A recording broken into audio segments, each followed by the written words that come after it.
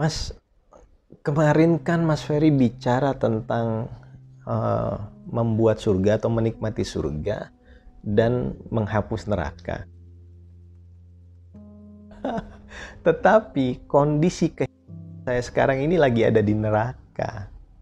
Maksudnya, maksudnya adalah neraka yaitu hutang banyak, pekerjaan nggak punya, duit nggak punya, lalu hubungan sama pasangan bermasalah, hubungan sama sosial bermasalah. Ini kan sudah di neraka saya, udah nggak bisa ngapa-ngapain. Terus maunya apa? Ya, pertanyaannya kan gitu. Terus maunya apa? Ya aku maunya bahagia. Lah, ya udah, Anda bahagia sekarang juga. Ya nggak bisa bahagia dong mas, karena terlalu banyak masalah kehidupan. Ditanya lagi, masalahnya adanya di mana? Masalahnya ada di dalam diri kita atau di luar diri kita. Ini yang harus kita renungin. Sejatinya segala persoalan kehidupan itu ada di dalam batok kepala kita ini. Cuman sekedar ada di pikiran kita.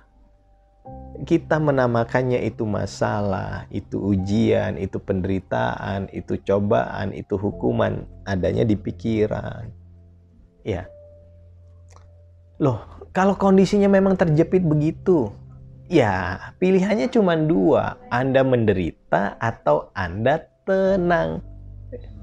Tenang itu berarti tetap bergerak dan hasilnya serahkan pada Tuhan.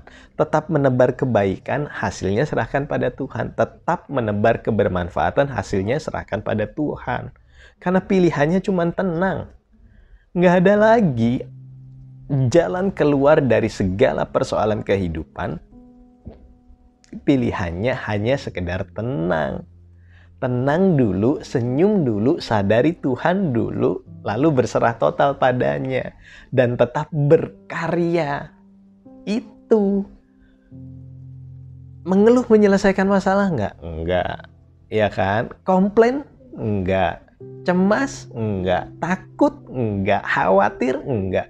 Semuanya bukan menyelesaikan masalah tetapi memperburuk masalah. Memperburuk masalah yang ada di dalam otak kita.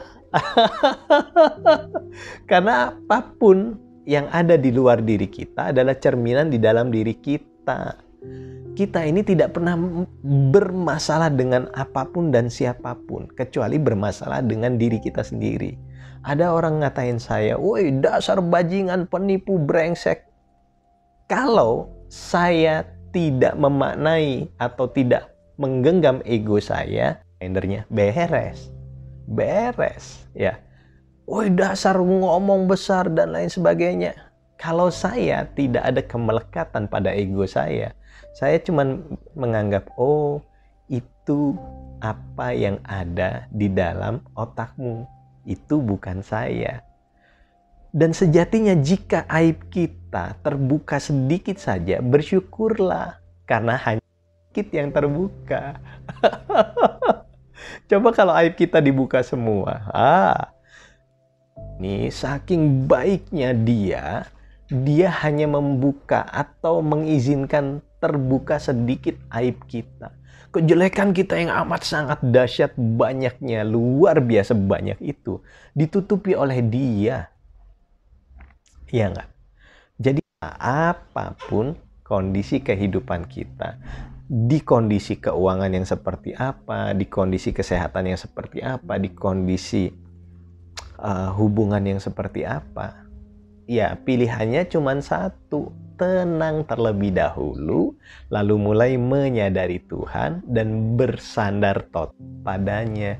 Dan itulah Islam. Al-Islamu ya'lu wa la Kondisi jiwa berserah total pada Tuhan adalah kondisi tertinggi dan tidak ada yang lebih tinggi dari itu. Jika dalam Al-Quran, inna dina sesungguhnya din jalan terbaik di sisi Allah inna dina indallah jalan terbaik di sisi Allah adalah inna dina indallahil Islam adalah Islam kondisi jiwa yang berserah total pada Tuhan. Tidak mengatur Tuhan, tidak meminta Tuhan, tidak mengeluh pada Tuhan. Dianya hanya sekedar menerima. Apa pun yang terjadi terima. Apa pun kehidupan ini terima dengan penerimaan yang dalam, dengan kebersyukuran yang dalam. Karena rumus kehidupan itu cuman itu. Penderitaan kita yang sekarang ada karena apa? Menyangkal. Menyangkal kehendak Tuhan. Menyangkal yang sudah terjadi dalam kehidupan ini. Akhirnya kita menderita. Nah, cara untuk melepas semuanya, belajar melepas semua penderitaan adalah dengan tenang, sadar, lalu berserah. Cuman itu saja. Loh mas, apa nggak harus usaha? Tetap usaha. Usaha sebaik mungkin. Berjihadlah sebaik mungkin. Karena jihad itu adalah mengeluarkan potensi terbaik dari dirimu untuk kebermanfaatan bagi dirimu, bagi keluarga, bagi semesta. Itu jihad. Oke?